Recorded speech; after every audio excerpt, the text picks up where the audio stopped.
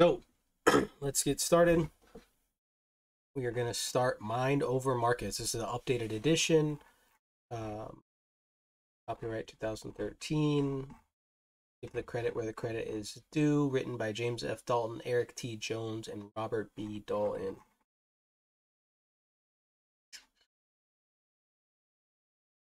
We're going to skip through the table of contents or just kind of scroll through the table of contents right? This PDF is available in the Discord, so if you have it, I'd recommend having it open. That way you can follow along a little bit easier. But the whole goal, um, it is posted.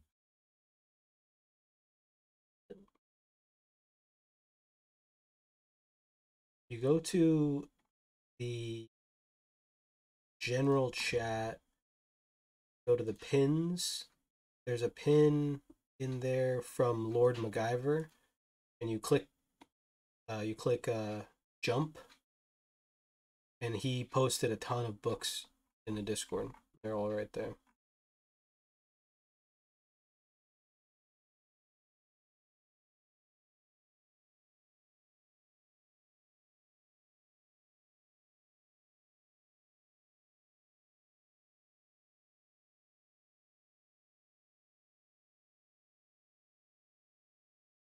All right, so we'll start with the preface, right? Why not start with the initial part of the book? When Mind Over Markets was first published in 1990, the market profile was relatively new.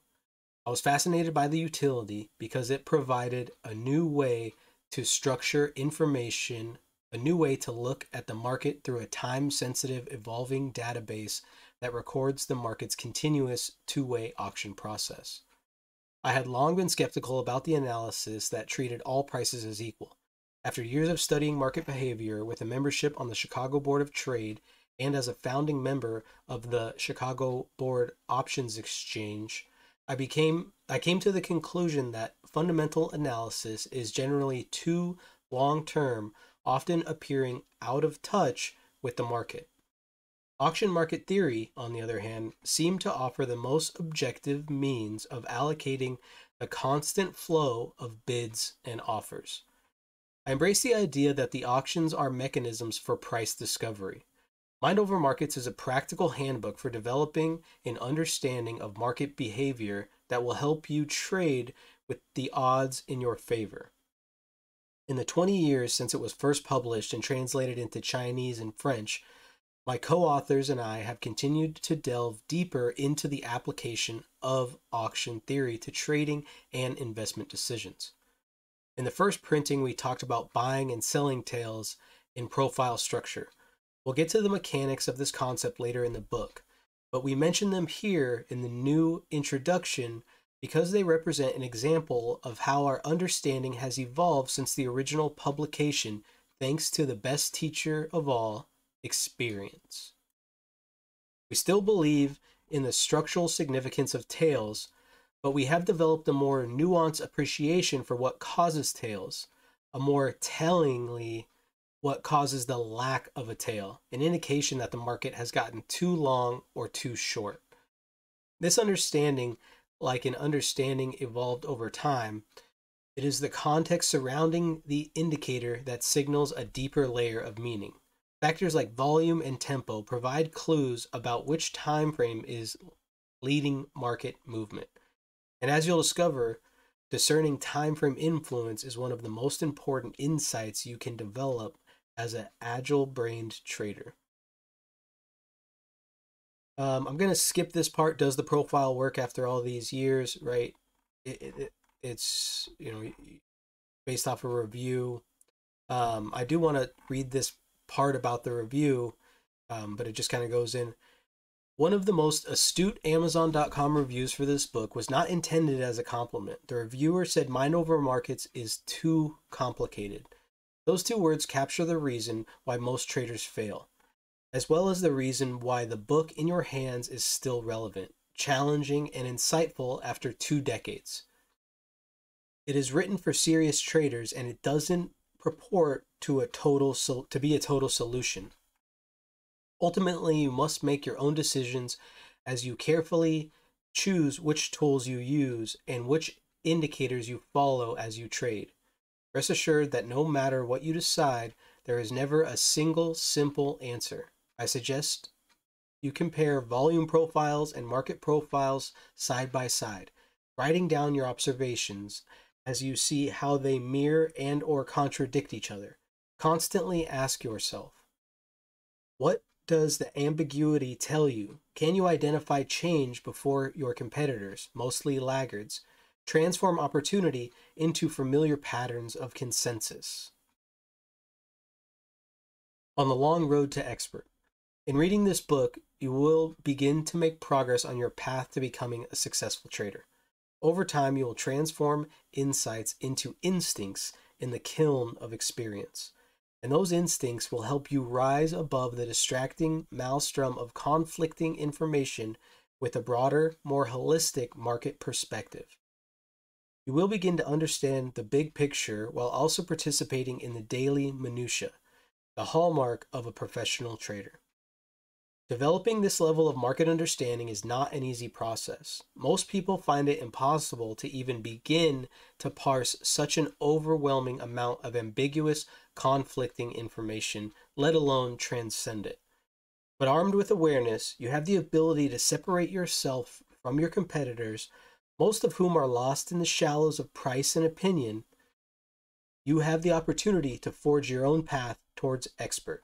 Good luck on your journey. That's the preface.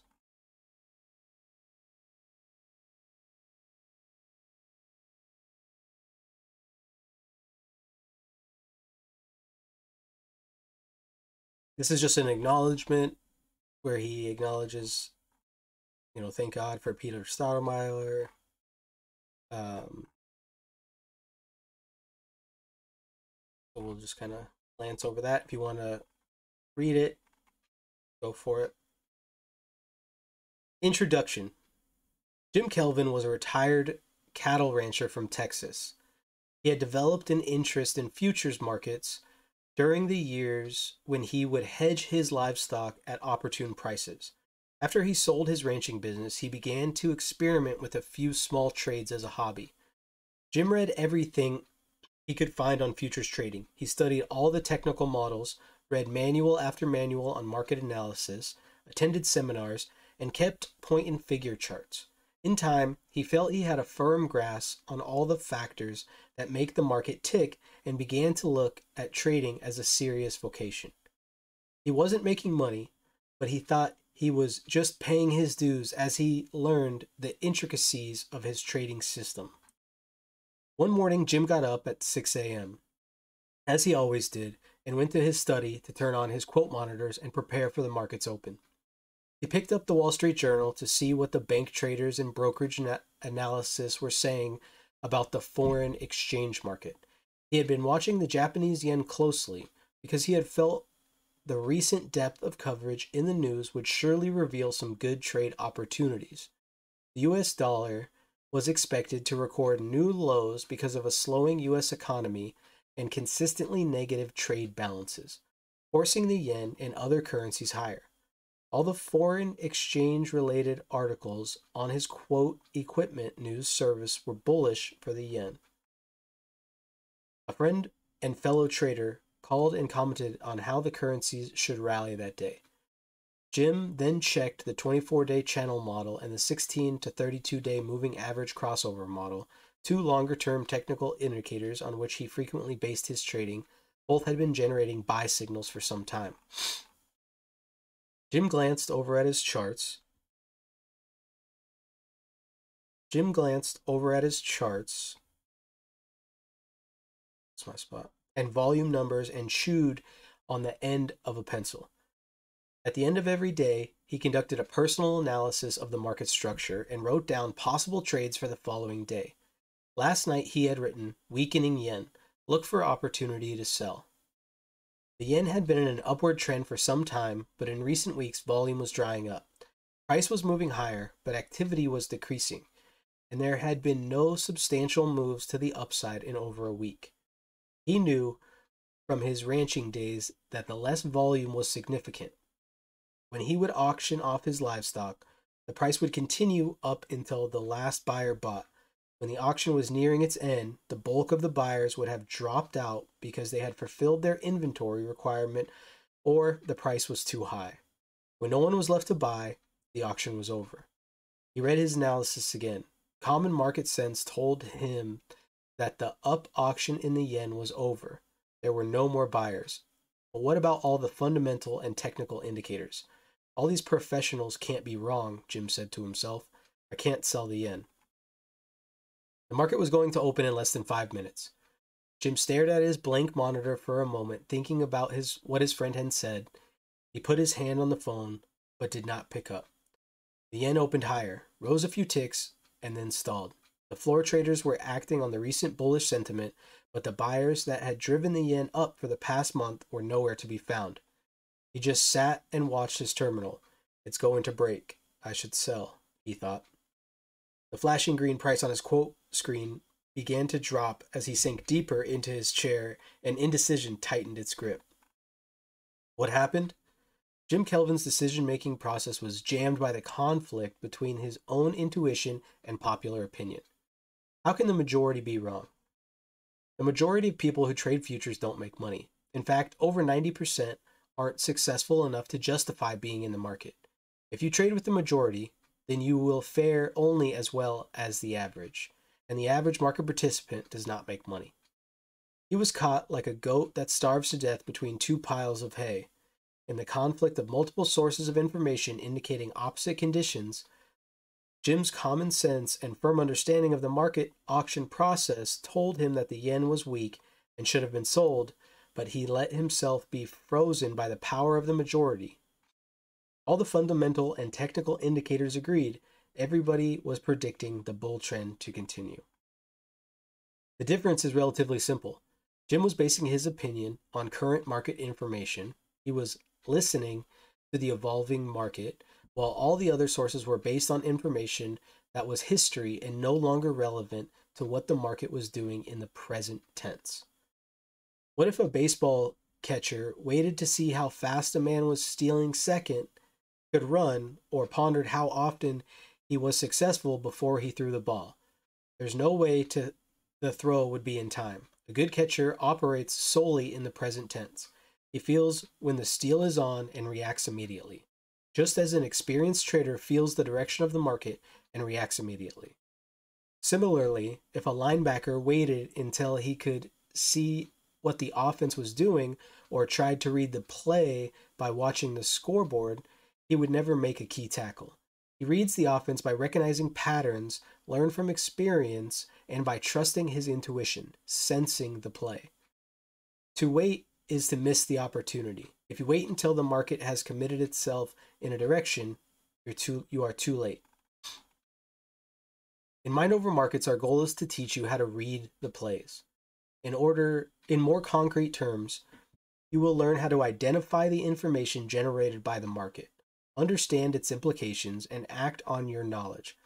However, this is not a book about a trading system that works or does not work. The market profile is not a black box that dogmatically tells you when to buy and sell commodities. This is a book on learning. This is a book on observing and understanding the market.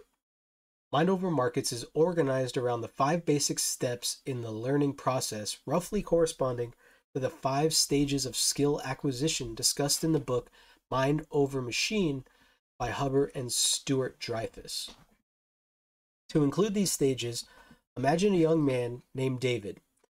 He attends a concert at his college given by a well known contemporary pianist. While listening to Beethoven's haunting Moonlight Sonata, he is moved by the pure emotion expressed in the piece and decides he must learn to play the piano. The next day, he arranges for his first lesson. In the first few weeks, David learns to recognize objective facts and features relevant to the skill and acquires rule for determining actions based on those facts and features. In other words, he reaches the first stage of learning, the novice. He learns that black ellipse with a stem is a note, and that note placed on the bottom line of a treble staff is an E. He is shown where the E is on the keyboard, and can then press the corresponding key to sound that note. David can look at the sheet of music and by reducing it into an individual parts, he can find the right keys and play the song. Of course, this is slow, painstaking process that forces listeners to use their imagination when trying to make out any semblance of melody. After a month of lessons and regular practice, David becomes an advanced beginner. By playing a song over and over, he goes beyond the note by note struggle and begins to achieve some continuity of melody. Experience improves his performance. He still sees the song as a series of notes on a page, but begins to feel the flow that allows a recognizable song to emerge. David can play Amazing Grace, so it actually sounds like Amazing Grace, and not some array of notes in a random rhythm. As years go by, David reaches the third level and becomes a competent pianist. Most musicians never pass the stage of stage to become proficient or expert. He sees each song as a whole, a certain expression to be performed with a definite goal in mind. He still plays by reading the notes, but he achieves some degree of emotion and purpose in his playing. An important distinction must be made here. David plays with the emotion of the written expression in the piece, crescendos and fortes, etc., not with the individual interpretation. He performs much like a machine that very accurately converts the musical score into a sonata or crescendo. This level of competency can lead to excellent performances. For most written music thoroughly is thoroughly marked to show the composer's emotion. These marks have literal meaning, such as quiet or pronounced and sharp, David plays Bach's Prelude in E minor flawlessly at a recital and receives a standing ovation for his technical excellence. However, David is still a person playing an instrument, much like a computer running a complicated flowchart. To advance to the next level proficiency, he must transcend the physical notes on the paper, the rules, and become deeply involved in the music. To reach the fourth level and become proficient, David must learn the actual notes of a piece so well that he no longer has to think of them. The written work becomes part of his mind, a holistic image, allowing him to interpret the music. This comes from experience in life as well as hours of practice at the keyboard. The pianist must rely on his intuitive ability to express emotion through the piano, leaving behind the fact that the piece is in E flat in 6 eighths time. Therefore, if David is proficient, he will feel the emotion that Bach created and drawing on his own emotions and experience convey that emotion in his playing.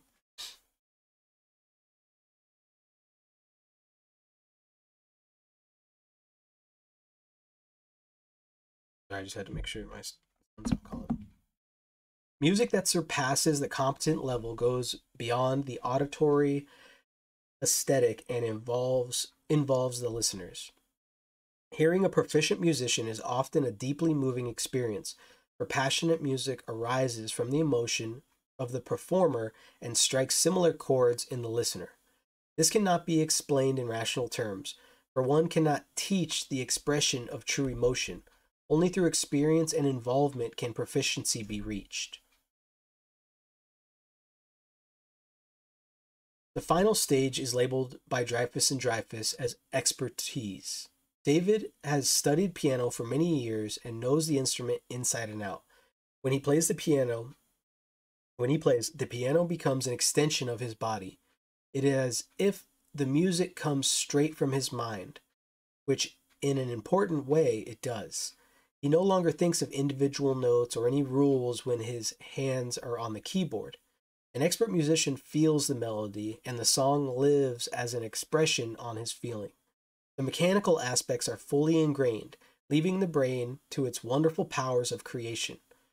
Listening to an expert musician is like peering into his thoughts and feeling the weight of his sadness or the exhilaration of his joy. It is a mode of expression that transcends all rules and calculative rationality to become pure expression. Few people reach the expert level in any field. This example was meant to introduce you to the basic levels of skill acquisition that we will attempt to take you through in learning to trade the futures market successfully. However, learning is a process that requires a great deal of time and effort, and learning to be an expert trader is no exception. The, music- the musician spends many hours of rote memorization and practice to develop expertise or experience and skill. Success trading requires the same discipline and hard work. Many perceive futures trading to be a glamorous, high profit venture for those with the nerve to trade, and that through the purchase of mechanical systems and computer software, you can bypass the time and dedication it takes to succeed in other professions. In reality, there are few glamorous professions. Some, like the music industry, reward the best quite impressively. It is easy for the naive music lover to glamorize performers like Burt Bacharach, Frank Sinatra, and Billy Joel. However, if we dig deep behind the sellout stadium concerts and multi platinum albums, the music business is not much different than any other profession. For every Simon and Garfunkel, there are literally millions of aspiring young, young musicians who spend endless hours of dedication and frustration learning and perfecting their profession. Even the established superstars spent uncounted days perfecting each song on their musical ability to achieve recognition. Because of the difficulty of making it big, many musicians burn out. The process of becoming good enough to succeed brings with it the potential for failure. The process of becoming an expert trader is just as difficult. The learning in this book goes beyond technical systems into the areas of self understanding that might reveal weakness in your abilities of self and market observation, discipline, and objectivity. Also, much of the information in this book differs from the accepted models of market analysis. Just as you will learn that the best traders fly in the face of the most recent market activity, the information in this book flies in the face of most current opinions and theories on trading and understanding the market. Futures trading is not a glamorous or profitable experience for most of the people who attempt to trade. Futures trading is a profession, and it takes as much time and dedication to succeed as any other profession.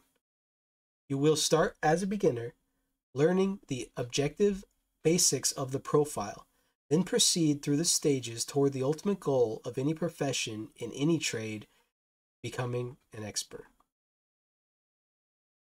Chapter 2 Novice. Let's take a two second, two minute break real quick so I can grab some water.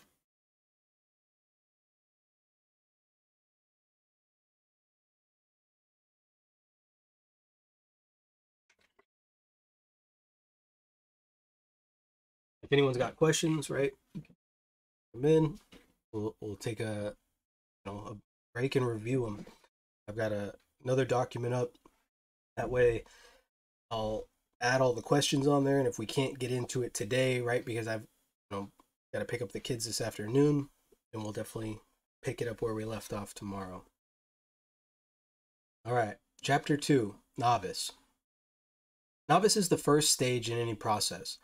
No one starts out an expert or even an advanced beginner. To learn any skill, you must begin by learning the necessary objective facts and features, the tools with which you will build your skill from the ground up. Just as a carpenter learns the function of a saw, hammer, and plane before attempting to make his first basic bird feeder. You must learn the mechanics of the market excuse me, of the market profile before you make your first basic market decisions. The learning that occurs during the novice stage is largely rote memorization. The carpenter is taught that the workings of his tools, the aspiring pianist is taught the definitions that form the base of all music theory. This learning comes from a derivative source, such as a book or a teacher, and does not involve the novice in any active way as he or she sits and listens or reads. Some degree of derivative learning is necessary, especially during the early stages. But in the words of ancient Greek philosopher Heraclides, much learning does not teach understanding. Only through experience and extensive practice and application will understanding and expertise arise. Throughout this book, A Derivative Source, there are many definitions and patterns to memorize. It is important to remember, however, that the information is only part of a larger whole that will develop as you read and attempt to assimilate what you have learned with your personality, individual trading style, and experience. Keep an open mind and actively apply the new knowledge to your observations of the marketplace. Perhaps some of your established beliefs have already been thrown into question. In the example at the beginning of the book, Jim, the yen trader, is torn between the different sources of information, fundamental and technical, fundamental, technical, and market generated information. All the fundamental sources, newspapers, trade magazines, personal advice, and technical sources, channel models, moving averages, were predicting a rally in the foreign currencies. The market generated information, information, which is the market's price activity recorded in relation to time in a study with a st- statistical curve, was indicating that the market had reached the top of an up movement this is not to say that all technical gurus, financial writers, and market analysis are useless. There is just no greater indication of what the market is doing than the market itself. The market profile is a conduit for listening to the market. It is merely a graph that plots time on one axis and price on the other to give a visual impression of market activity. This representation takes the form of a statistical bell curve, just like your high school teacher used. Most students scored in the middle of the bell curve with C's, while fewer received A's and F's. Similarly, the majority of the day's transactional volume takes place in a common range of prices with less trading on the day's extremes. See figure 2.1. So we'll scroll down. This is figure 2.1 here.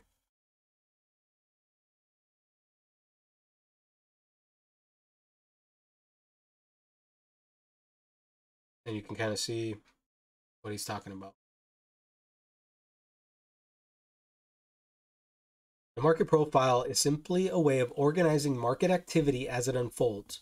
It is not a system that predicts tops and bottoms or trend continuation any more than a teacher's grade chart is an indicator of overall student intelligence.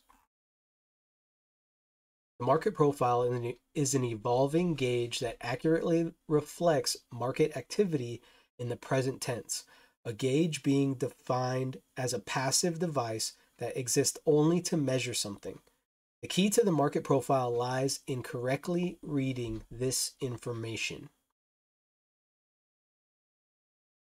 The statistical bell curve is employed to allow us to visualize what a graph might look like that plots time, a constant, on a horizontal axis against price, a variable, on a vertical axis.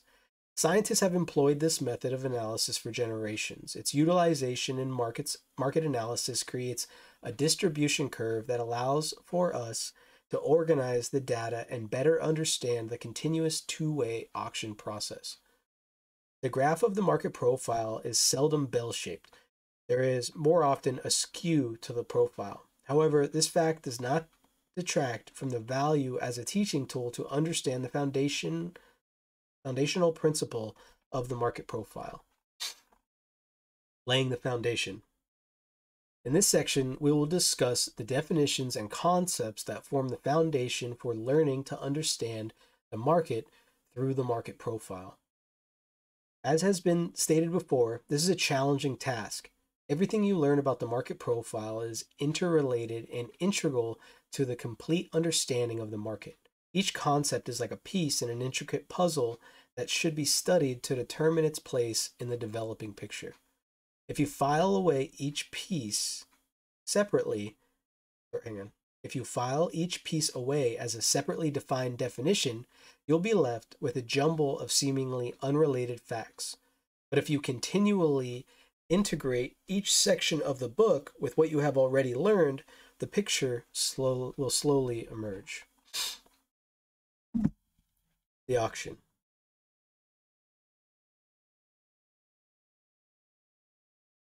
Jim Kelvin intuitively knew that the bull trend in the yen was over because his days in the ranching business. At first glance, a futures market seems to have very little to do with cattle ranching.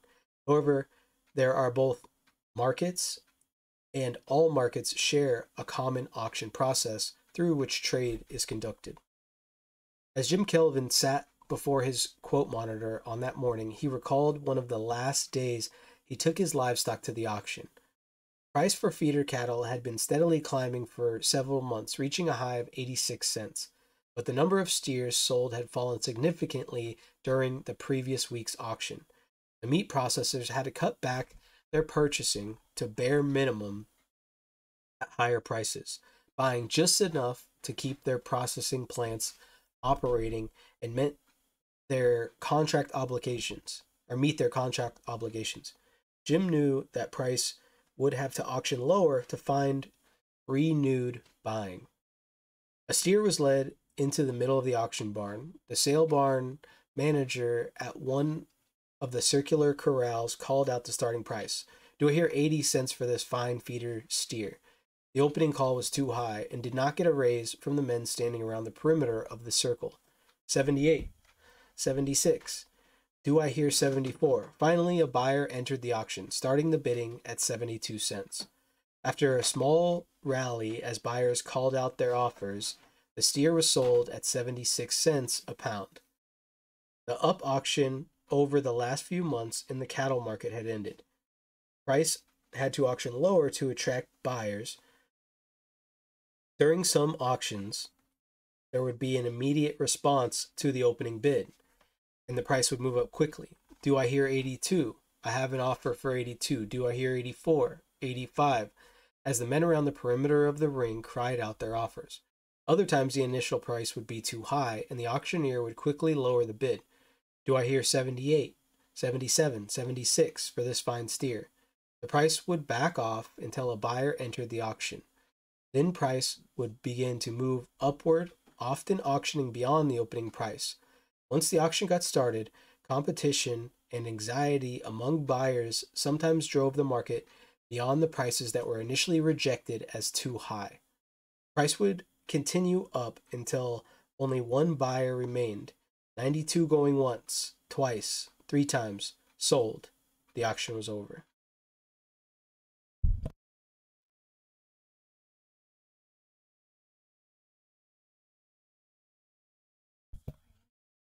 Yeah.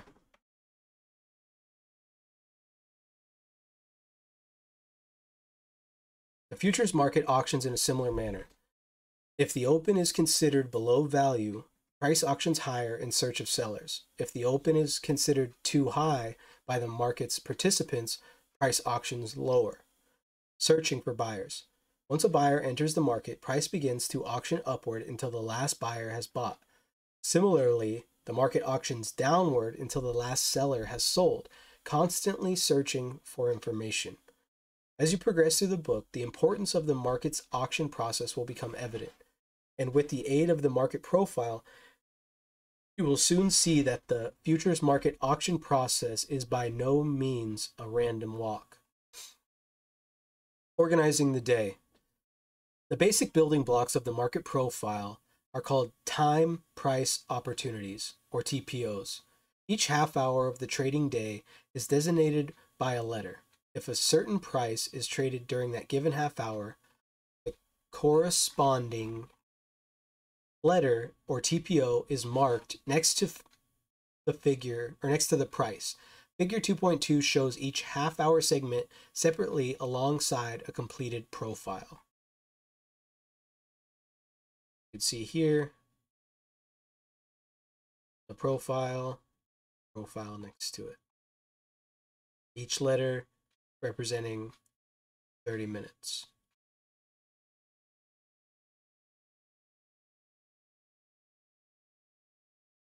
That's the open.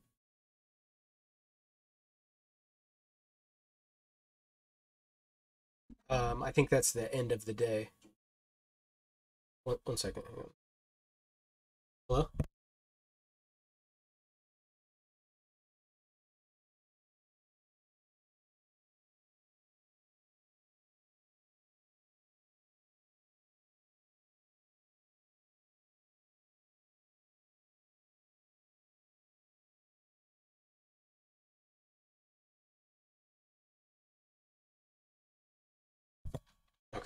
Um, yeah, I think that's just the end of the day, or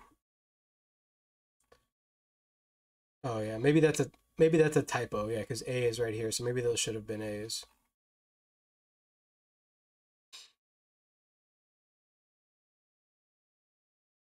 On a side note, Treasury bonds trade in 30 seconds of 1,000, and one tick is worth 31.25. $1,000 divided by 32. In the bond market on this day, the prices traded during the first 30 minutes, A period, range from 96 29s, 32s to 97 10 32s. The next time period, B traded from 96 31 32 to 97 4 32, and so on. The resulting profile is shown in figure 2.2. This, this is it here. We will now proceed through the same bonds step by step We will now proceed through the same day in the bonds step by step, explaining in detail how to read the basic information generated by the market pro market through the market profile gauge. The numbers in the following discussion refer to figure 2.3. This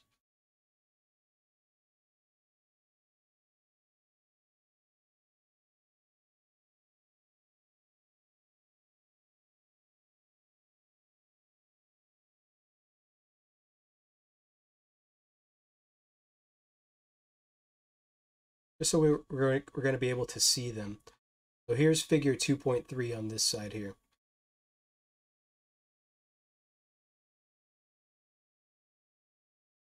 One, the price range resulting from market activity during the first two time periods, the first hour, for most commodities is called the initial balance. Slightly longer in the S&P, in the Treasury bond example. Shown in figure 2.3, the initial balance was established from 96.29.32 to 96.10.32 by floor traders or locals during A and B periods. If we look up here, A and B period is what they're talking about, the initial balance. The initial balance represents a period of time in which the locals attempt to find a range where two sided trade can take place, a range where both the buyer and the seller agree to con- conduct trade. Locals trade mostly in the day time frame and provide liquidity, not direction. In the market, by acting as middlemen,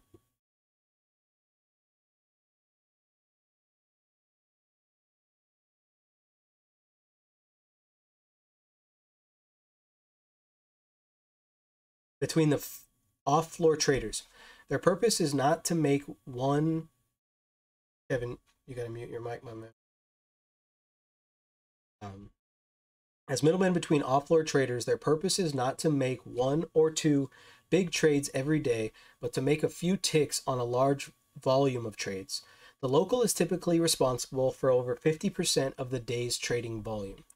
The local's role is like a car dealer, a middleman between the producer and the consumer. The dealer's goal is to move his inventory quickly to make a small profit on each sale. He must buy from the producer, like General Motors, at a price he finds fair, then turn around and sell to the consumer at a price that will attract buying while maintaining a degree of profit. The local on the floor of the exchange acts in the same way buying from long term sellers and selling to long term buyers, who only enter the market when they feel prices away from value. We will refer to the long term market participants as the other time frame, where the long term is a highly subjective concept and can represent a trade that spans anywhere from several days, sometimes called swing trade, to several months. Other separates the traders from those particip- participation spans more than one day from the locals who operate solely in the shortest time frame. The importance of the other time frame participants will be discussed at greater length throughout the book, or the other time frame activity that moves and shapes the market, just as General Motors and the consumer shape the automotive market. Understanding what the other time frame is doing is vital in successful trading the futures market.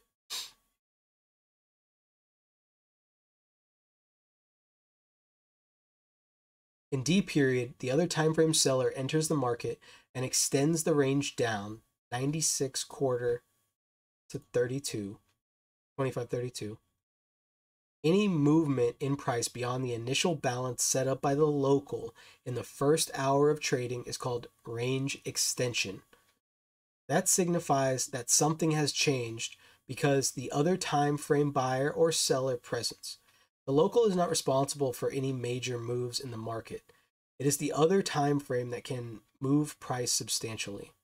Again in D period, it is evident that the other time frame seller entered the market and extended the range on the downside.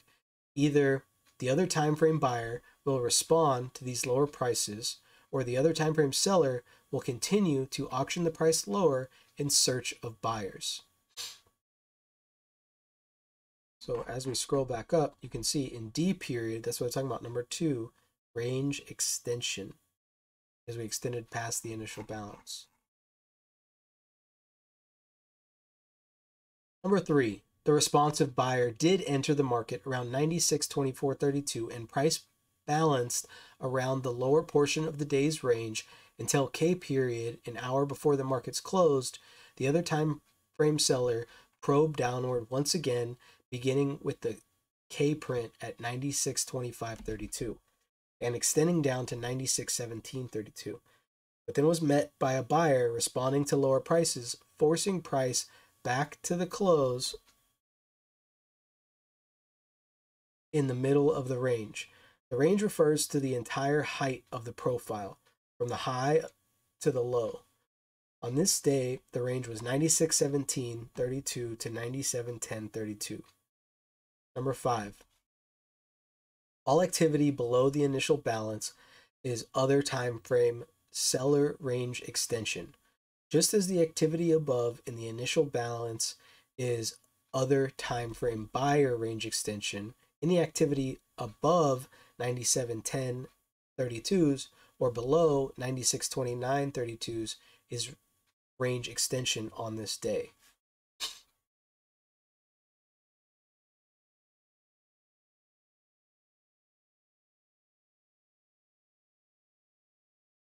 Have the picture at the same time.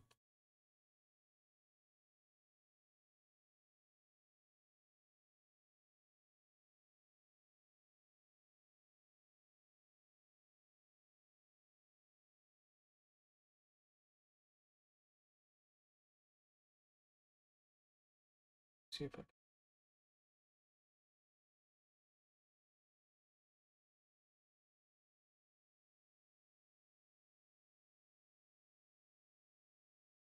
we'll just power on for now.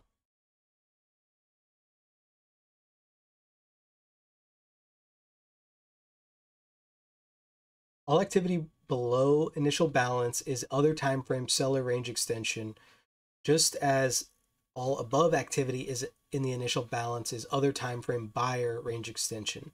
Any activity, all right, we already read that. The area where 70% of the day's business is conducted, roughly one standard deviation, is called the value area. This is illogical for the middle part of the bell curve is where most activity occurs and indicates two-sided trade took place in the day time frame. Similarly, in a teacher's grading curve, most students score in the middle ranges, which is reflected in the wider middle area of the bell curve. If both buyer and seller are actively participating in an area, then that area is accepted as value by both parties. On July 25th, in the bonds, value was accepted between 96.2532 and 96.332. The value area can be easily calculated using TPOs or actual price volume figures. A sample calculation of the value area is shown in Appendix 1.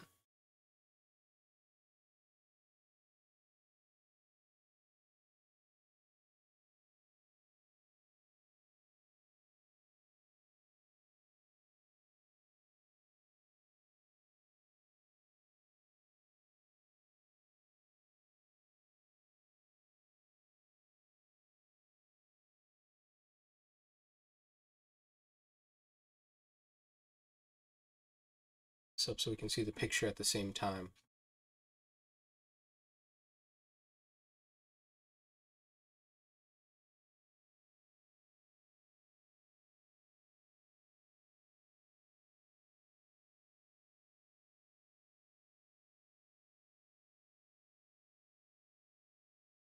The single KTPOs at the lower extreme of the profile are called single print buying tail.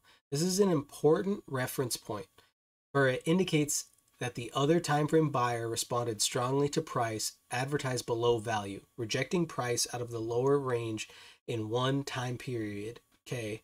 Competition among buyers for contracts causes price to move quickly. Therefore, the longer the tail, the stronger the other time frame activity. A tail occurring during the last period of the day is not technically a tail, or it cannot be validated by rejection in two subsequent time periods. In addition, a tail must be at least two TPOs long to have any real significance. The four single A prints at the top of the day's range are a single print selling tail, this tail shares the same significance as the other time frame buying tail in K period. The other time frame seller reacted to higher prices, quickly moving price lower. Attempts to auction beyond the single print tail by trading up to that price range in subsequent time periods C and D met strong resistance, showing seller strength. At those prices, the longest line oh, at those prices, the longest line of the TPO closest to the center of the range is called the point of control. This is the price where most activity occurred during the day and is therefore the fairest price in the day time frame. The greatest amount of the time was spent trading at that price, signifying greatest value. This concept will be further developed later, for it is of great importance in monitoring other time frame activity in the day time frame. M period designates the closing range, which is the market's last indication of overall sentiment for the day. It is used as a reference point against the following day's open to see if it if the underlying market sentiment has changed. Challenging the rules. You should now have a feel for reading the basic indicators of the market profile. Many concept concepts were introduced, some undoubtedly foreign to the opinions you were taught and the rules you learned about the futures market. Roger Van Oort, author of A Whack on the Side of the Head, challenges the power of the rules. There is a lot of pressure in our culture to follow the rules. This value is one of the first things we learn as children. We are told, don't color outside of the lines, no orange elephants. Our educational system encourages further rule following. Students are usually better rewarded for regurgitating information than for playing with ideas and thinking of original uses for things. As a consequence, people feel more comfortable following rules than challenging them. Challenging rules is a good creative thinking strategy, but that's not all. Never challenging the rules brings with it potential dangers. Understanding the market profile requires more than just regurgitation of a list of concepts. It requires the ability to challenge the rules and look beyond the restricting confines of popular opinion. Look over the basics we just covered again. David had to know the basics of the music before he could successfully play Amazing Grace.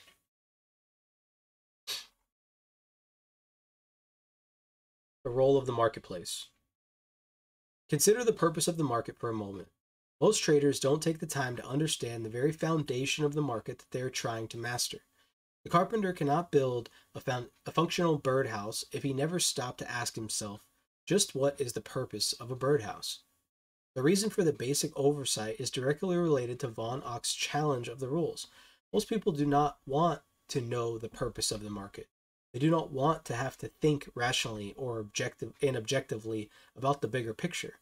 Most market participants, in fact, most people in general, would rather be given a set of rules to blindly follow than to have to use personal insight and initiative thought or innovative thought. Again, the majority of people who trade futures do not make money. The purpose of futures market is similar to any other market. It exists solely to facilitate trade, and it does so by auctioning from high to low and low to high in order to find an area where trade can be best facilitated. Think of a trade facilitation in terms of your corner grocery store. If the price of peanut butter is too high, shoppers will refrain from buying, and the grocer will realize that the price is too high he will then move price lower until the buyer responds by purchasing the product. If the grocer moves price too low, however, his inventory will be quickly depleted as buyers take advantage of price being below value. Finally, the price will balance somewhere in between the two extremes, where value is established and two-sided trade can take place.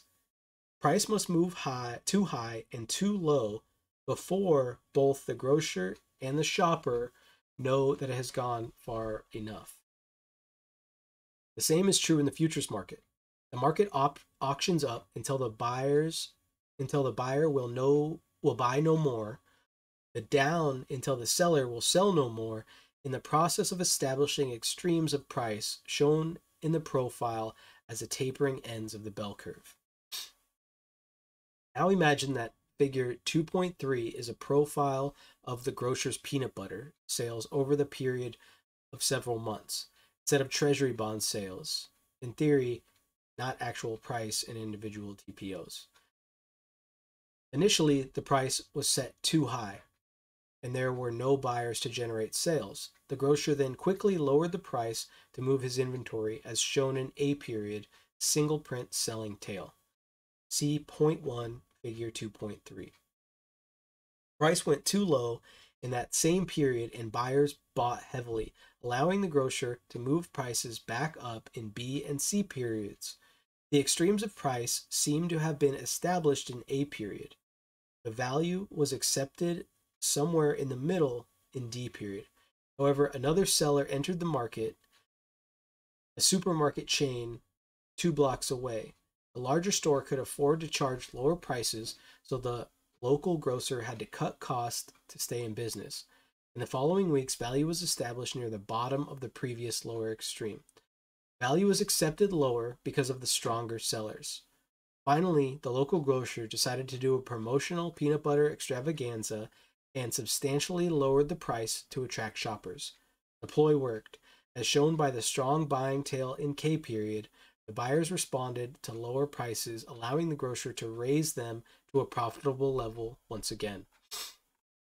The comparison is intended to bring home the similarity of a trade facilitation process in all markets. The futures market is a constant auction looking for balance between the two major forces behind market movement the other time frame buyer and seller.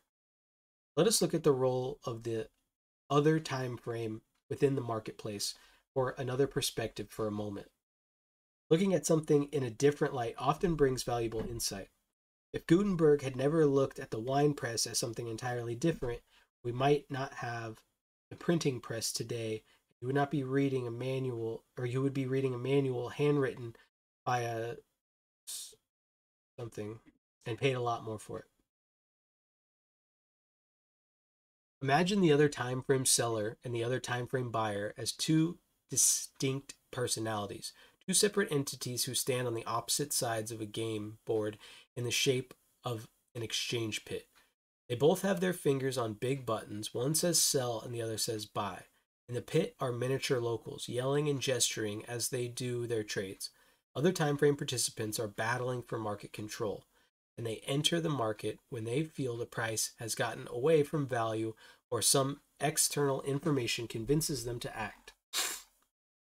For example, a significant news event might cause the other time frame buyer to enter the market and drive price upward for the entire day.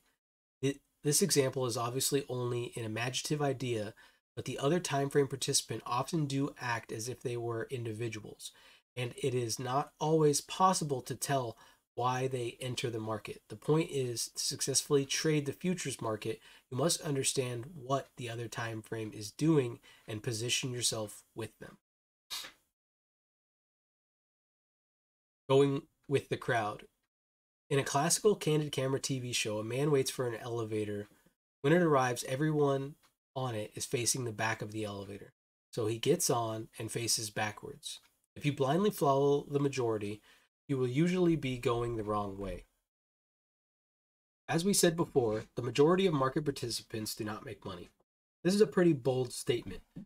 But if you stop and think about how many times the big name analysts have been plain wrong, it doesn't seem so far fetched.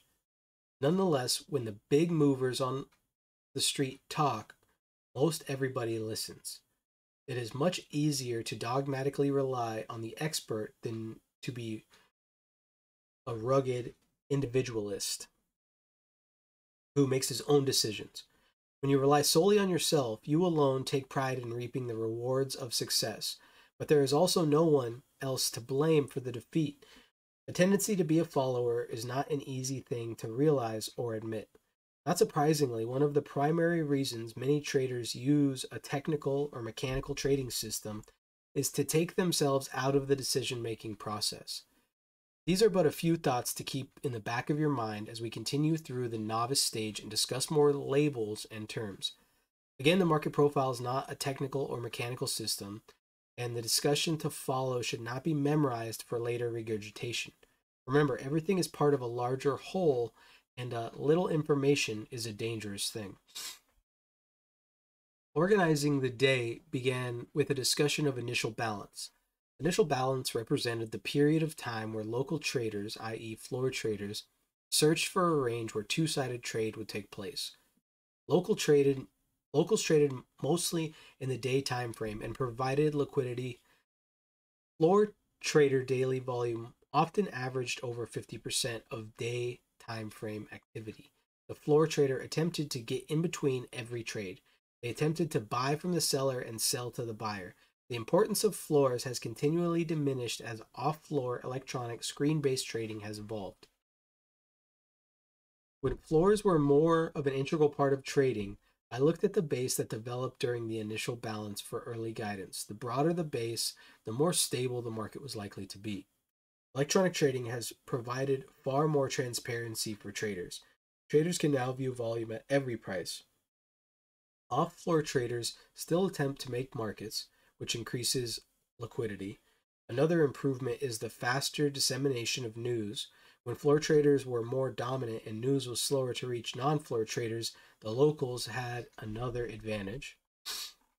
Initial balance today is slightly more ambiguous, however, it is still represents early morning market activity. Introduction to the day time frame structure. When the local grocer priced his peanut butter below value in the peanut butter extravaganza, the consumer bought it in a frenzy, leaving in its wake a single print buying tale. Tails are an important piece of the information in the anatomy of the market profile, for they indicate the presence of the other timeframe buyer or seller. A tail is an identifiable characteristic with definite implications. Whenever you see that particular pattern, you associate it with a specific set of facts, just as a linebacker learns through experience that certain formations indicate what the offense is going to do. On a bigger scale, the market profile as a whole tends to fall into reasonable or into readable patterns in the day time frame determined um, determined determined by the degree of involvement of the other time frame participant. These patterns, when properly identified, can increase the day trader's success as well as provide information regarding what the market is trying to do in the longer term. The labels we will give these participants are not as important as understanding how the day evolves in relation to the initial balance. And the confidence with which the other time frame has entered the market, think of the initial balance as a base for the day's trading. The purpose of the base is to provide support for something, as the base of a lamp keeps the lamp from tipping over. The narrower the base, the easier it is to knock the lamp over. The same principle holds true for futures trading in the day time frame. If the initial balance is narrow, the odds are greater that the base will be upset and the range extension will occur. During that, oh, days that establish a wider base provide more support that the initial balance is more likely to maintain the extremes for the day. If you think of the other time frame as a single personality, as in the game board analogy, it is possible to judge the activity of the other time frame buyers and sellers according to their level of confidence. Each day type is result start again. Each day type is the result of varying degrees and forms of other time frame activity, and this activity tends to fall into certain patterns. Keep these broader concepts of base and confidence in mind as we examine the six day types. Normal day. The label normal day is misleading, for in reality, normal days are more the exception to the rule. Normal days are generally created by swift early entry of an other time frame participant, which has the effect of establishing a wide initial balance. Thereafter, both the other time frame buyer and seller both the other time frame buyer and seller auction price back and forth between them. As balanced two-sided trade ensues, normal days are often caused by news announcement early in the trading session that triggers a strong other time frame reaction. Idea now.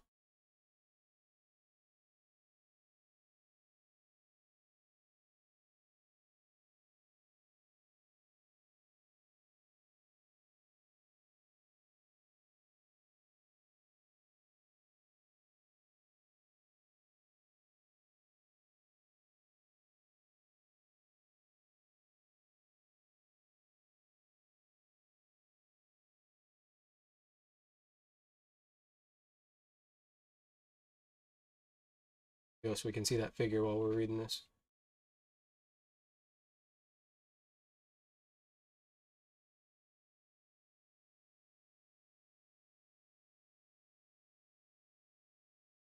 Normal days are often caused by a news announcement early in the trading session that triggers a strong other time frame reaction, driving price quickly in one direction. For example, suppose that a bearish economic indicator released shortly after the open causes the other time frame seller to aggressively enter the market and drive price lower. Eventually, price moves low enough to attract other time frame buying, thus cutting off the selling activity for the remainder of the day. There is a little there is little strong directional conviction conviction and price balances between the extremes. As an example of the normal day is shown in figures 2.4, which is this one here.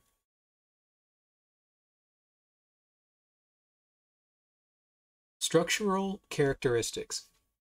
The primary characteristic of a normal day is a wide initial balance, or a base that is not upset throughout the day. In Treasury bonds figure 2.4, the initial balance was established in A and B periods from 96.432 to 97.1432, well over a point wide. Other time frame sellers entered on the upper extreme because the price auctioned too high, creating a strong single print selling tail, while other time frame buyers entered on the lower extreme as price auctioned too low, creating a single print buying tail. Price spent the rest of the day auctioning within two extremes. On the surface, normal days might appear easy to trade. However, imagine the anxiety in placing an order to buy just after price has dropped over a point. The bottom appears to be literally dropping out of the market, and you have to pick up the phone and say, buy it. This is not to say that every time the market drops a point, you should step in and buy. That would be financial suicide. But as we proceed through the more common day types and you observe them through your own experience, you'll begin to develop an understanding of which day time frame patterns and logical market situations will give you the confidence to buy against such a break. We bring this up primarily to touch on the two key principles that you will no doubt grow tired of by the end of this book. They are the best trades often fly in the face of most recent market activity and never lose sight of the bigger picture.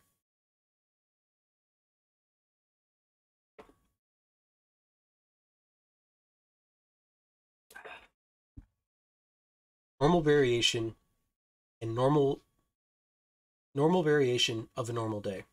Dynamics. A normal variation of a normal day is characterized by market activity early in the trading session. That is less dynamic than more of a normal day. As the day progresses, however, the other time frame enters the market and substantially extends the range. It is as if the other time frame participant had watched the auctions for a while and then decided price was opportune and entered aggressively. The other time frame conviction is more evident due to the range extension on this type of day compared to a normal day. In figure 2.5, the other time frame seller, let me just go ahead and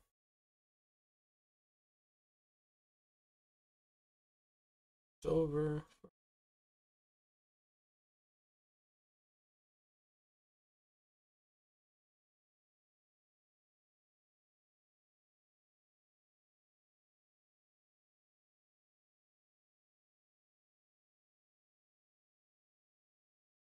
figure 2.5, the other time frame seller auction price downward in B or in D period until the other time frame buyer responded to lower prices and cut off the selling. For the remainder of the day, two trade is two-sided and a new area of balance is established. Structural characteristics. Normal variations typically do not have quite as wide of initial balance as normal days. Point 1 in figure 2.5.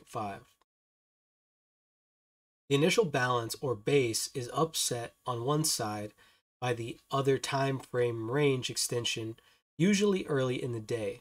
In figure 2.5, the other time frame seller extended the range down in D period, tipping over the base to the downside. Point number 2. For the duration of the day, the market's auction process involves the other time frame buyer, other time frame seller, and the local referred to the two time frame trade. On this day, selling range extension causes value to be established lower, 0.3.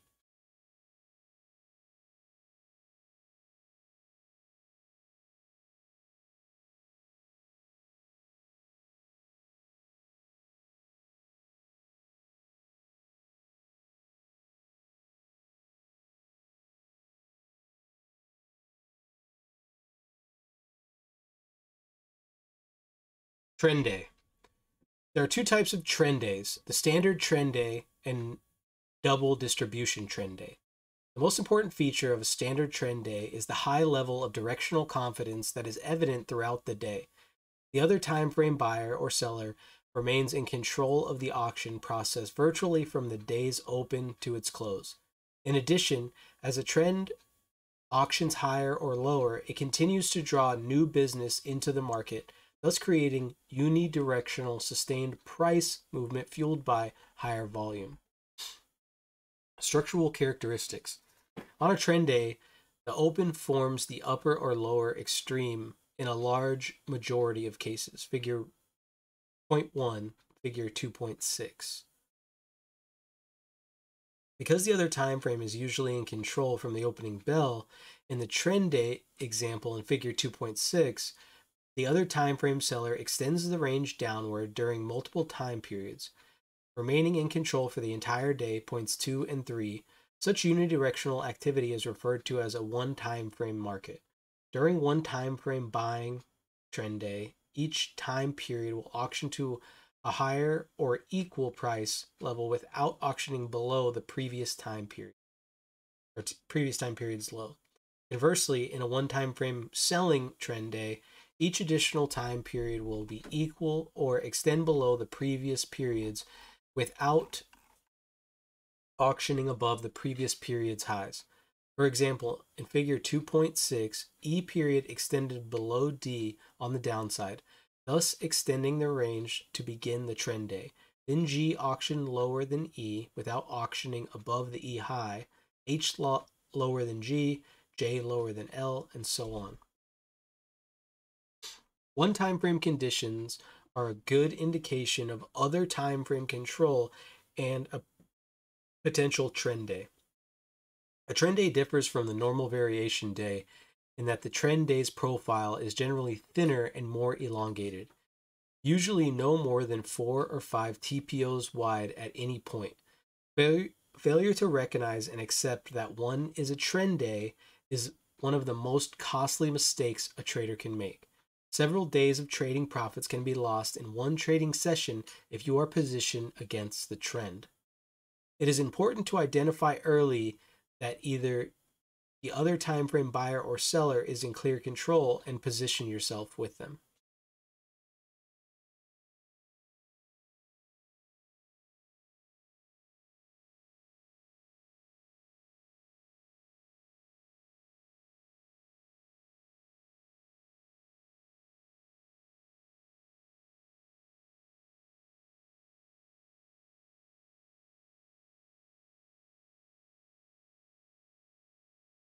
Double distribution trend day. Dynamics. The second type of trend day, the double distribution trend day, is relatively inactive during the first two first few hours of the trading session. Market participants possess a low level of conviction, resulting in a narrow base. Later in the session, a change in events causes the other time frame to perceive price to be unfair at current price levels, enter the market aggressively, and substantially extend the range. This later entry by the other time frame drives price to a new level, where the second balance region develops. The double distribution trend day does not possess the steady confidence of a typical trend day and must stop and reassure itself after a substantial move. A very small initial balance is first is the first indication of a potential double distribution trend day. Again, the more narrow the base, the easier it is to overwhelm the area and auction quickly to a new level. Point 1, figure 2.7. In figure 2.7, the other time frame seller extends the range down in F and G periods. Point 2. Lower prices were accepted as value forms below the original value area in a new distribution, separated by a single TPO price, prints point 3. This new trading range generally holds throughout the day, often providing useful reference points and good trading opportunities for day traders. The single prints separating the two distributions in a double distribution trend day become an important reference point near the end of the day. If price auctions back into the single prints during the latter time periods, in effect making them double prints, something has changed. And in the second distribution in the something has changed. And in the second distribution it is no longer accepted as value. For an example in the double distribution trend in figure 2.7 a price probe into f period single prints point number 4 would indicate that a strong other time frame buyer had entered or that other time frame seller conviction that caused the initial range extension is no longer present.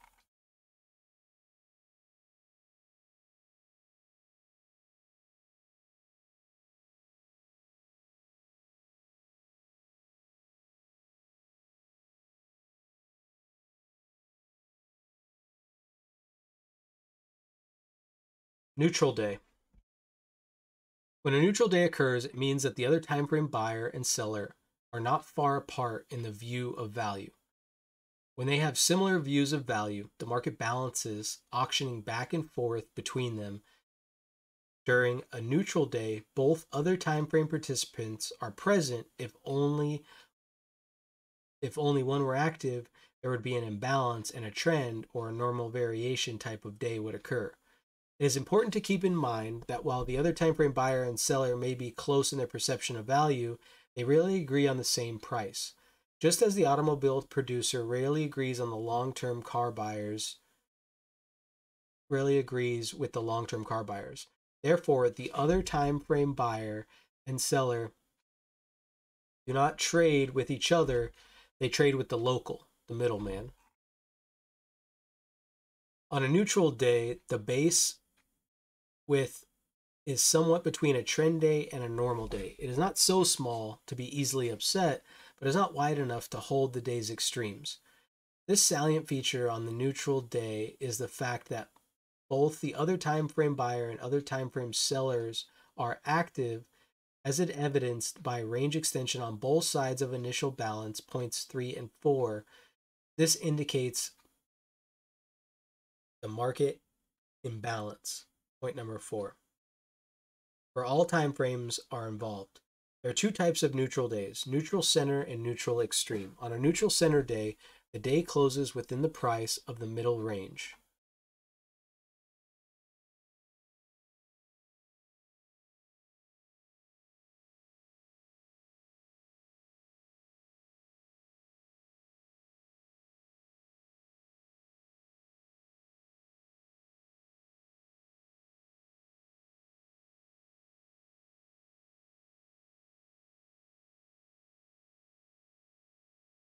indicating a lack of confidence and a balance between the other time frame buyer and seller. On a neutral extreme day, price closes on either high or low extreme for the day, indicating a hypothetical victory in the day or in the day time frame battle for control between the other time frame buyer and seller.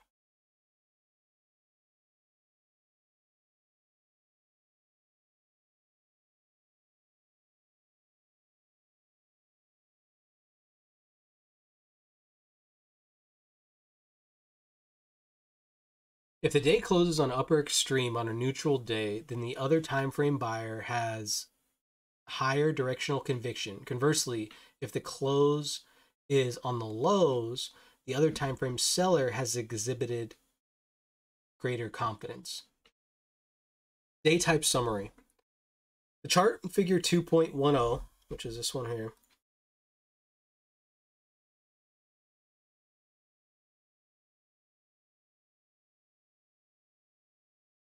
displays the type of day on a horizontal axis and the level of directional conviction that day exhibits on the vertical axis.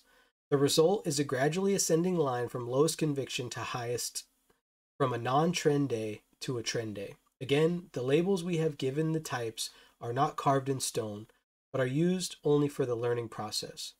What should become clear is that by monitoring a day's conviction very early in the trading sessions, traders can quickly begin to understand and visualize how the day will develop. At this point, you know that the basic object facts and features about the market profile. Like David, the, the novice piano player, you have learned the foundation for further learning. But there is a long way to go. In the following sections, the concepts you have learned as a novice will serve as the foundation for understanding the market. Like the staff and notes are the foundation for understanding music. Remember to actively interpret and combine your new knowledge with your experience in the market. Do not put the facts you have learned as a novice away and say, oh, okay, what's next? The learning process is an ongoing synthesis, each part fitting into the next like a puzzle. Trying to become an expert trader without a continuum between the stages is like trying to put together a puzzle with all the pieces the same color. Look for the big picture. That is the end of chapter two. So that is where we will call it today. So great stuff.